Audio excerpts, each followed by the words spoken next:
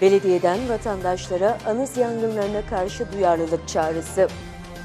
Aksaray Belediyesi anız yangınlarına karşı uyardı. Anız yangınları tehlike oluşturuyor. Aksaray Belediyesi son günlerde yaşanan anız yangınları konusunda vatandaşlara uyarılarda bulundu.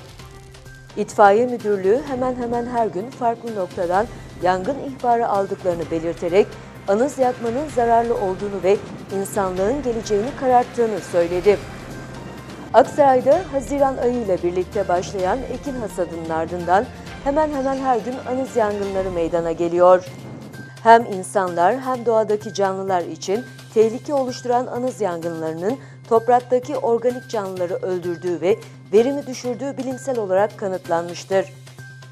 Yapılan tüm uyarılara rağmen anız yangınları her yıl giderek artıyor. İtfaiye Müdürlüğü'ne bağlı ekipler mesaisini büyük oranda anız yangınlarını söndürmeye ayırıyor. Anız yangınlarının %94'ünün insan eliyle verilen zararlardan kaynaklandığının altını çizen ekipler vatandaşları anız yangınlarına karşı duyarlı olmaları konusunda uyardı.